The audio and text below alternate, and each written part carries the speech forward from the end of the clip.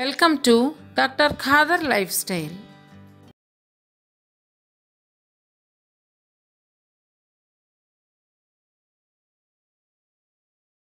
many people lose uh, muscle because of uh, having all wrong things in the body. It cleans it up. And over a period of an year or two you will again gain back your stuff.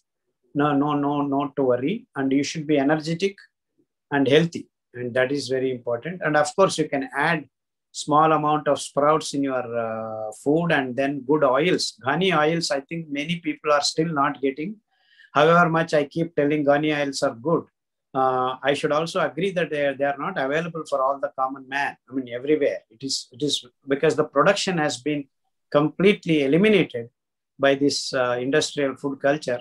So we need to get back. And every village, see, even if we establish 5 crore ghanis, there will not be enough good oil.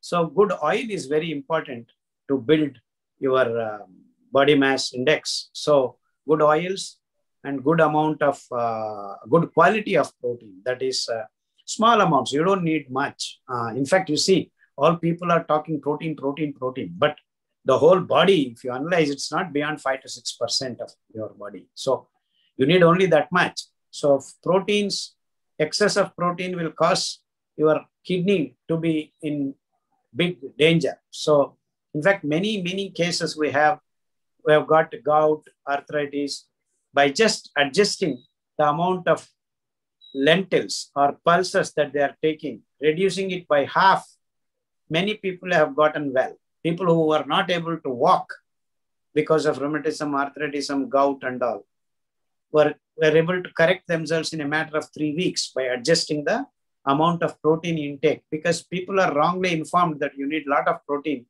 and lot of vegetarians started eating too much of pulses sprouts, uh, bisibelebath, uh, dosa, idli, everywhere dal, dal, dal, and then vada.